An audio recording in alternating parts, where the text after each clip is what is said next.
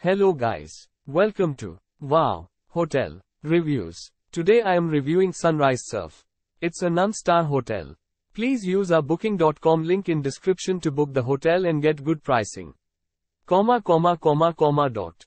Sunrise Surf is offering accommodations in Tybee Island. Featuring a playground, this property is located near attractions such as Tybee Island Beach.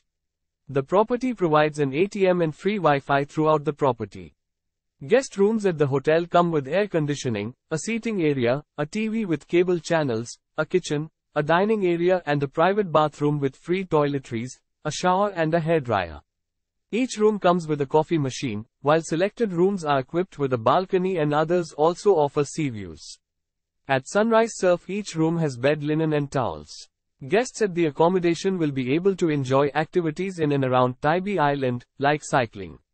Savannah Bend Marina is 15 miles from Sunrise Surf, while Tidewater Boatworks Marina is 16 miles away. The nearest airport is Savannah, Hilton Head International Airport, 27 miles from the hotel. Use our link in description to get special discount on this hotel. Don't forget to like and subscribe to our channel.